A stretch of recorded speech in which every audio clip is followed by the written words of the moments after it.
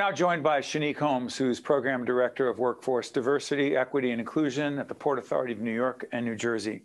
Good to see you, Shanique. Good to see you, Steve. Let's break this down. People often lump uh, diversity, equity, um, inclusion all together. Let's take them in pieces. Diversity, your definition of it, not just at the Port Authority, but for any large organization or any organization.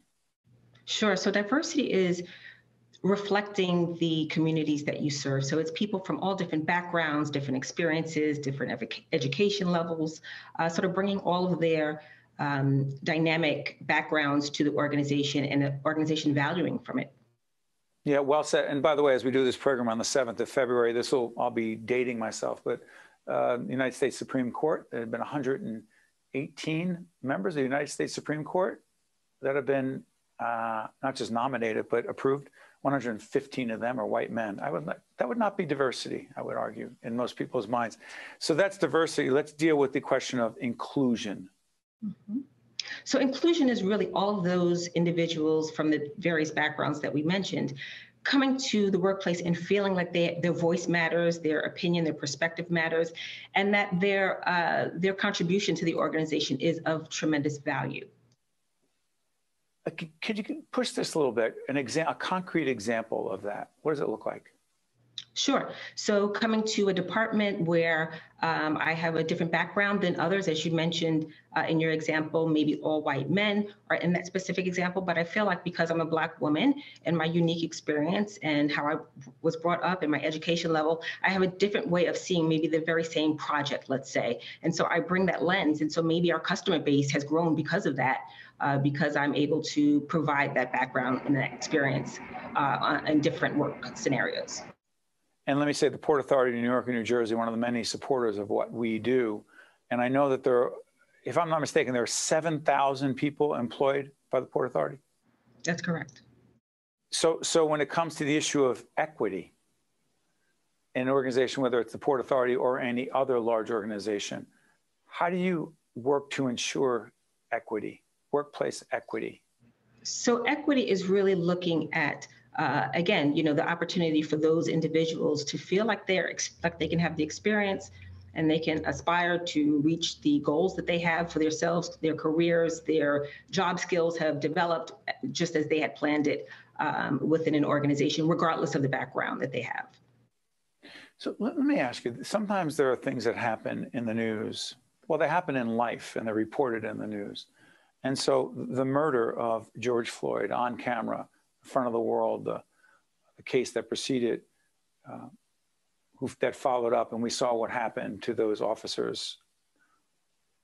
Question What impact did the George, George Floyd murder have on the work of you and your colleagues? Tremendous impact. So, immediately after the murder of George Floyd, particularly at our organization, the leadership, our executive director, Rick Cotton, our uh, chairman, Kevin O'Toole, they instituted what they called the Leadership Steering Committee, which were 10 very senior individuals across the entire organization uh, to really take a look at race dynamics within the organization.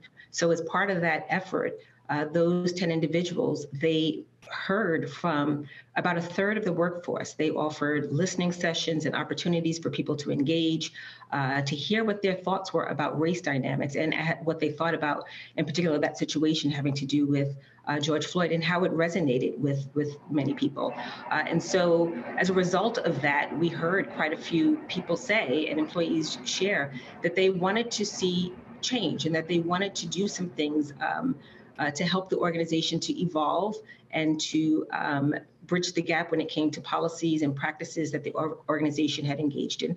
So the Leadership Steering Committee worked with a number of employee volunteers to come up with 25 separate initiatives that have been implemented and that are in the process of being implemented uh, to this very day. And so there are things such as new diversity and inclusion and unconscious bias training uh, for leaders and managers to help managers and leaders to understand, you know, what it's like uh, and the tools that they need to uh, manage and lead diverse teams and diverse uh, employee groups um, to mitigate unconscious bias where there may be, you know, unconscious bias dynamics. Can, um, can I? I'm sorry. I'm sorry for interrupting, Shanique. You've used the term unconscious bias a few times. Could you differentiate between unconscious bias and bias? So, so unconscious bias is really, uh, again, unique perspectives that we all bring to the table um, based on our background, our upbringing, perhaps things that we've seen in the news, social media. Uh, and oftentimes, many of us, if not all of us, will have a uh, an experience that we will uh, have a quick decision or a quick uh, response to, right, which is called sort of an unconscious bias. Um, so something that's kind of uh, not something that we're necessarily aware of all the times, but we have over time developed a response rate or a way of responding to certain people or dynamics uh, based on our experiences that we've had over a very long period of time. So that would be something that's called unconscious bias. Conscious bias would be just deliberate, you know, decision making against for or against something. Before I let you go, why is this work around diversity, equity, and inclusion so personal for you? It's personal because, um, you know, I grew up in a situation where um, my father was experienced something that was not positive. Um, he was he was injured, quite frankly, uh, because of something uh, that he, uh, a place that he was where others felt that he did not belong, uh, being an African American man, because of his race. That's correct. And so it's very important to me um, to ensure that I constantly make others aware, that I help them to develop, that I bring, uh, I serve as a, uh, a conduit where necessary for leadership and for employees and help uh, bring them along and help them to work together and advance a specific cause, an organization, uh, and uh, continue to continue to advance in the space. Shanique Holmes is a Program Director of Workforce Diversity, Equity, and Inclusion at the Port Authority of New York and New Jersey. Uh, Ms. Holmes, I want to thank you so much for joining us. We appreciate it, Shanique. It was a pleasure. Thank you, Steve.